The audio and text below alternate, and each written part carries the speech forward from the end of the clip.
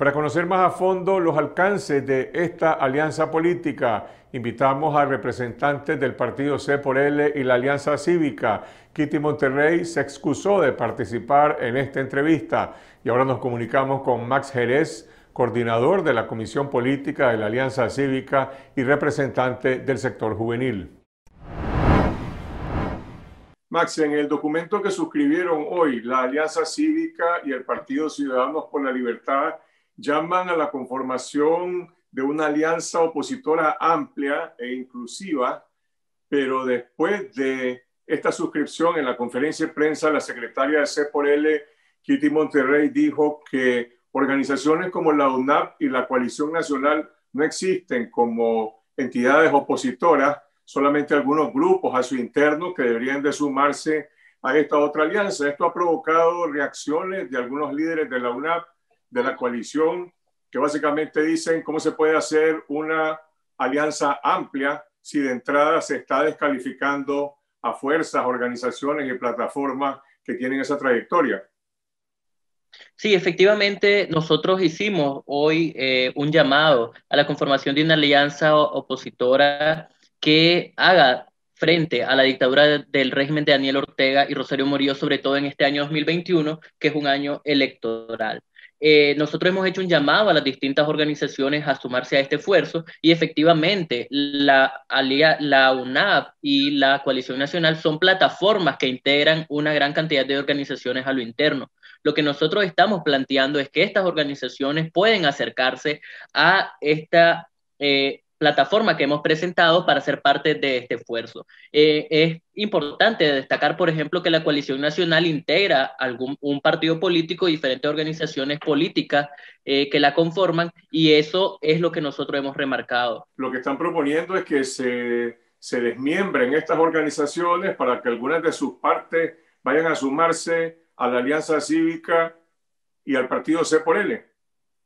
Bueno, lo que estamos planteando es lo siguiente. Cuando la, coalición nacional se conformó, existía la expectativa de que la coalición nacional iba a ser un vehículo electoral. Existía, y no sé si recordás, que hubo un llamado a, a, conformar o se anunció que la coalición nacional iba a, pedir o solicitar la conformación de un nuevo partido político. Estas expectativas no se cumplieron porque efectivamente no hubo apertura del régimen de Ortega para la conformación de nuevos partidos políticos. La coalición nacional no es una plataforma electoral porque en todo caso tendría que escoger una casilla política electoral de un partido político que la integra para poder conformar una alianza electoral a lo interno. Y eso no existe actualmente en la coalición nacional. Por eso lo que nosotros estamos dando es un paso significativo en el sentido de que nosotros decimos hay que conformar una alianza opositora que desemboque en una alianza electoral, pero ya vamos encaminados hacia la integración de los diferentes actores y los partidos políticos que la integran.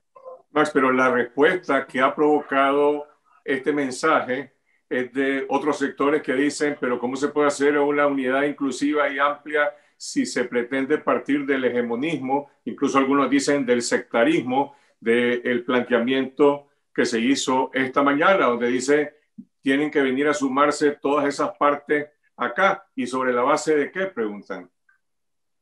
Bueno, mira, no es, no, no es, no es nuevo este, este, este tipo de, de, esquema. Yo te puedo comentar que cuando nosotros hicimos en algún momento un llamado a la conformación de la coalición nacional, las únicas partes que hicieron este llamado eran Alianza Cívica y la UNAP, por ejemplo.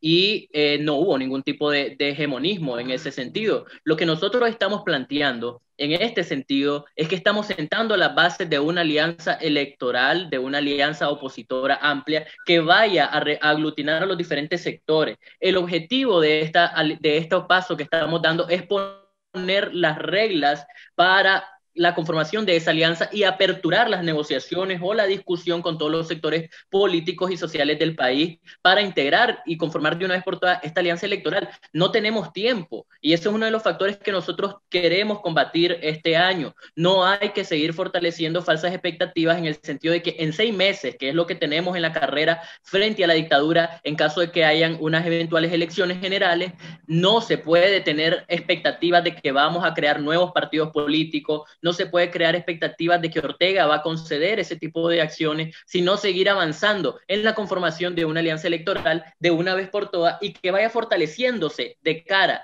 a la lucha contra la dictadura, a la demanda de elecciones libres, a la restitución de los derechos y garantías y fortaleciéndose significativamente en la inclusión y en la organización para unos eventuales procesos generales en noviembre de este año. Esta alianza política que anunciaron hoy, ¿tiene acaso un plan de lucha para demandar la restitución de los derechos, para demandar la suspensión del Estado policial, para lograr una reforma electoral. Lo que se escuchó hoy de parte de algunos representantes de la Alianza Cívica de José Dávila dijo, esperemos, vamos a esperar a ver qué condiciones va a otorgar el gobierno, pero hasta hoy está claro que el, espacio político más bien ha sido cerrado por el gobierno y no hay ninguna reforma electoral. Entonces, ¿qué es lo que están esperando y le están, están ofreciéndole una ilusión a la población? ¿En base a qué? Bueno, nosotros seguimos diciendo lo siguiente. Lo primero es que no podemos jugar al ritmo de Ortega. Ortega y los, y los tiempos que está jugando son al filo de la navaja. Y en este sentido nosotros no podemos esperar hasta mayo de este año, que es el plazo probablemente que ha establecido la OEA para implementar las reformas electorales, para nosotros tomar decisiones estratégicas que corresponden a la oposición de este país. Eso fue lo que dijeron hoy en la conferencia, que van a esperar cuáles son las condiciones que va a otorgar Ortega. Exacto, pero no, pero una cosa, a ver, una cosa es que nosotros podamos esperar cuáles son las condiciones o las cartas que Ortega va a poner sobre la mesa y otra cosa es atenernos a esas condiciones, porque mira, hay cosas que no dependen que no dependen de Ortega. La conformación de una alianza electoral, la, la, cohesión de la oposición, la demanda de las reformas electorales, la lucha por la liberación de los presos políticos, son cosas que tienen que ir paralelas en este proceso. Nosotros no podemos llegar a mayo de este año cuando se presume o hay una expectativa de que Ortega va a dar algún tipo de señal o reforma electoral o que vamos a conocer en ese momento las reglas del juego para decir que estamos listos. En ese momento que si, si supongamos que hay una apertura eh, electoral en ese sentido y Ortega da grandes concesiones y la oposición hasta ese momento va a buscar cómo organizarse, cómo cohesionarse. Y si no hay apertura, ¿cómo van a recuperar esos espacios? ¿Cómo van a lograr la suspensión del Estado policial? Por eso reformulo la pregunta. ¿Tiene esta nueva alianza política un plan de lucha?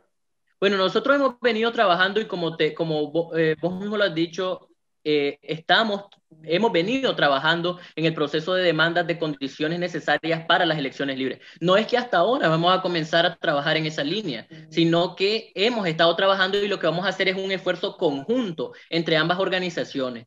Hay algunas cosas que hay que tener claro en esta línea.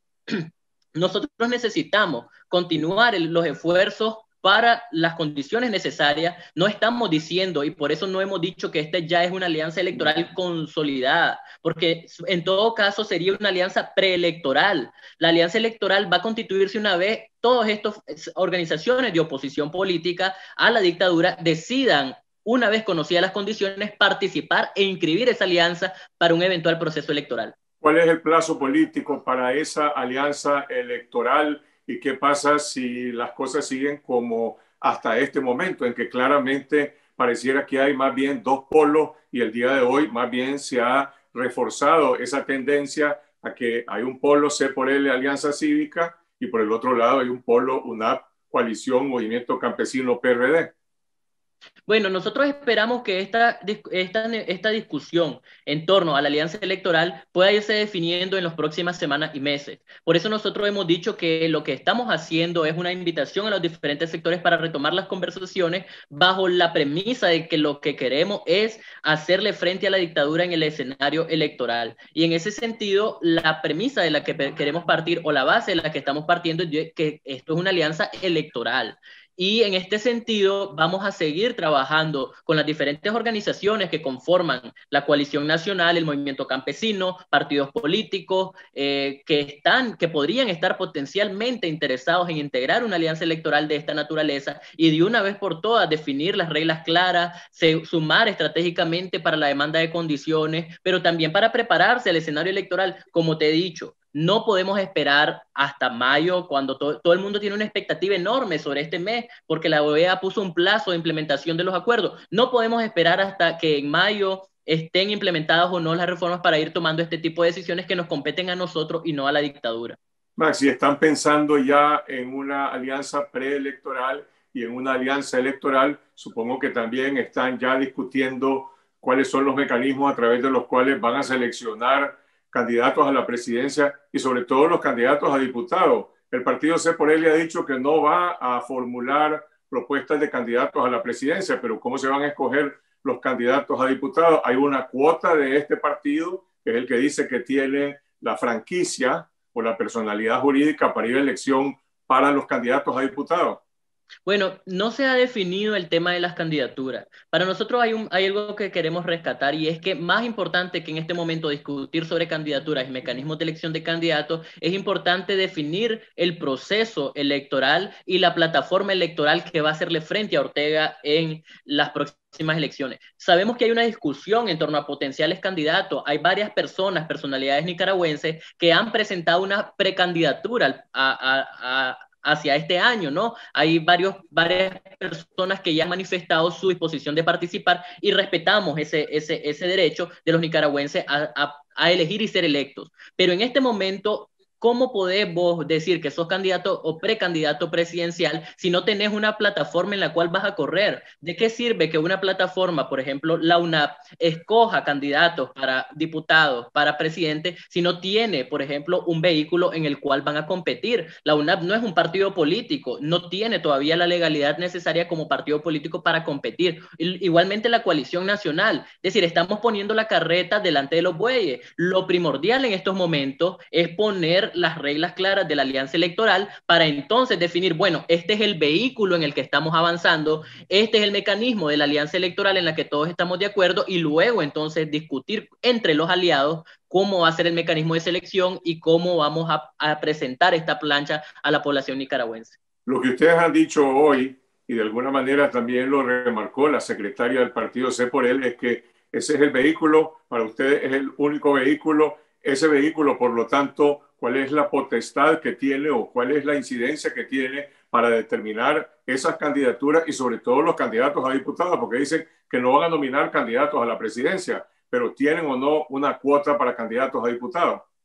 No es momento para nosotros de hablar de cuotas, de candidaturas y diputaciones. Como he dicho, lo que estamos sentando son las bases de esta alianza electoral. Para nosotros es la mejor opción y no tenemos tiempo para seguir discutiendo o participando de estos tira y encoge entre las diferentes organizaciones de oposición política en torno a los partidos políticos. Tenemos que dar pasos acertados en esa dirección. Lo que sí estamos eh, de acuerdo es que una vez conformada y definida las conversaciones con los actores interesados en formar parte de esta alianza, esos temas van a ser de discusión. ¿Cómo podemos nosotros poner ahorita cuotas de candidatura si lo que nosotros estamos haciendo es una invitación a los diferentes sectores para que se integren? ¿Cómo podemos nosotros definir candidatos si, lo si no está totalmente conformada esta alianza electoral eh, y política de oposición que estamos eh, aperturando? En este pero ¿han tenido algún intercambio antes o después de esta conferencia de prensa con las otras partes que están reaccionando sobre la base de que consideran que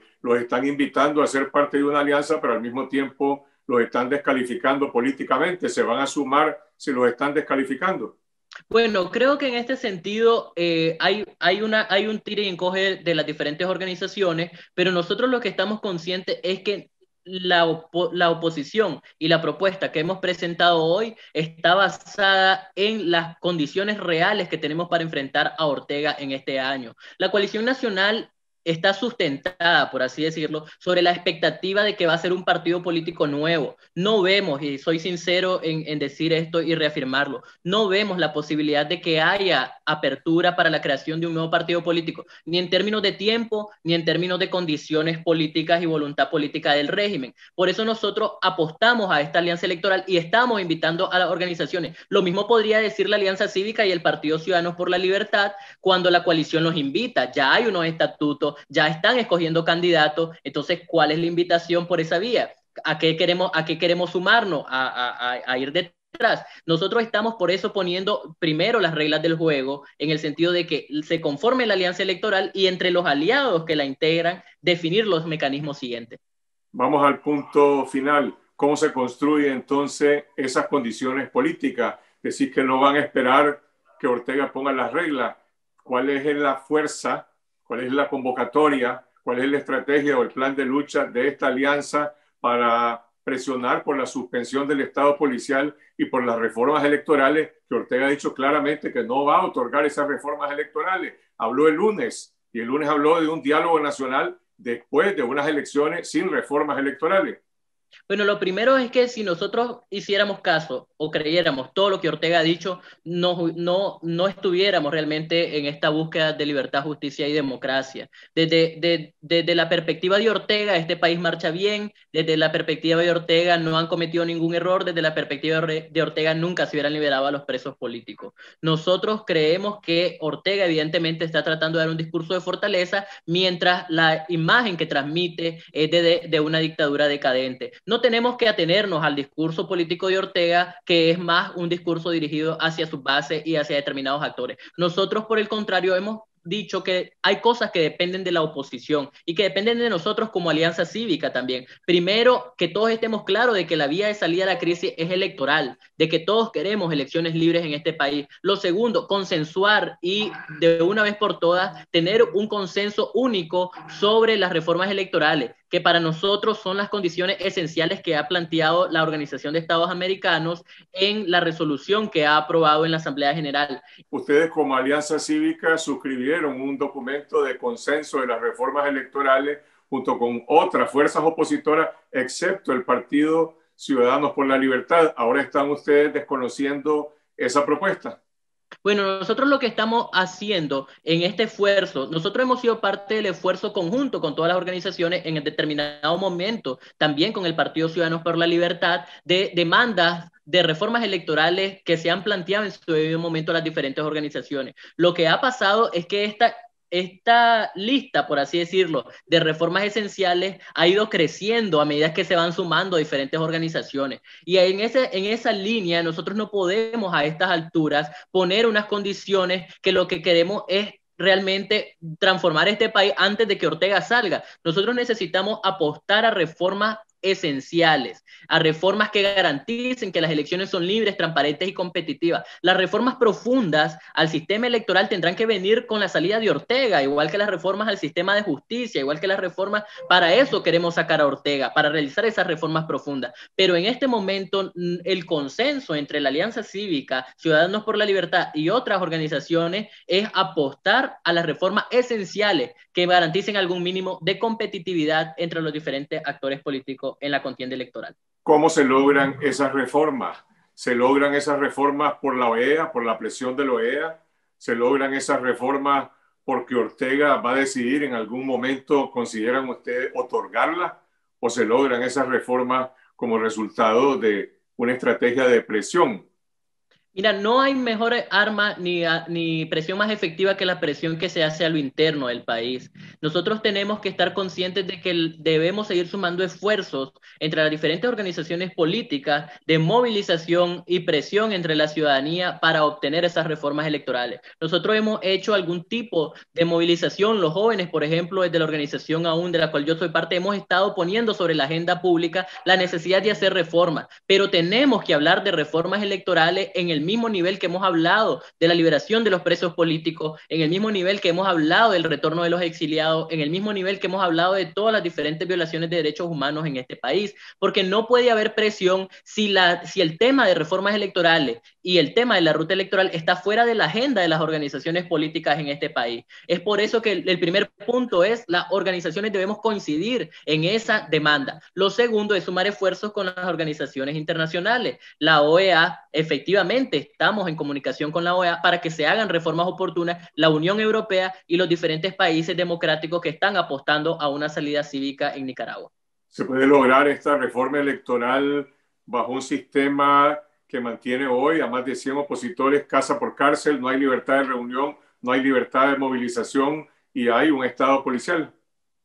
Bueno, tenemos que vencer las adversidades. Nosotros no podemos realmente dejarnos eh, vencer por la dictadura y por todos los obstáculos que está poniendo. A pesar del asedio policial, estamos haciendo trabajo de organización. A pesar de ese asedio policial y estado de sitio, estamos haciendo eh, reuniones de trabajo con los diferentes sectores, con las diferentes organizaciones. A pesar de ese asedio policial, estamos visitando cada uno de los departamentos del país y eso es lo que la dictadura le molesta, que nosotros, a pesar de que nos quieren inmovilizar, sigamos haciendo un trabajo político eh, detallado, un trabajo político constante. Nosotros no podemos esperar que la dictadura nos ponga realmente hasta que nos ponga las cosas eh, sobre la mesa, porque no depende de eso. Así no vamos a lograr presionar a la dictadura. Hay que vencer las barreras, sabemos que es un año clave, hay que vencer el miedo, sobre todo en esta parte de, la lucha cívica que hemos eh, estado eh, empujando y en este sentido estamos dispuestos a seguir trabajando hasta que haya condiciones necesarias para la realización de las elecciones libres, pero también paralelamente creando el vehículo, creando la alianza que gane la confianza de la ciudadanía para enfrentar a Ortega en las elecciones generales de este año. El periodismo crítico e independiente nos empodera porque nos ayuda a tomar mejores decisiones y enriquece el debate público. En Confidencial consideramos que todas las personas deben de tener acceso al periodismo de calidad en Internet. Por eso hemos lanzado un modelo de membresía que a diferencia de una suscripción digital en la que pagas por acceso exclusivo a contenido que está bajo llave, te brinda productos adicionales que ya están en nuestras plataformas, que continuarán abiertas para todos. Te invito a visitar confidencial.com.ni para obtener más información sobre esta iniciativa.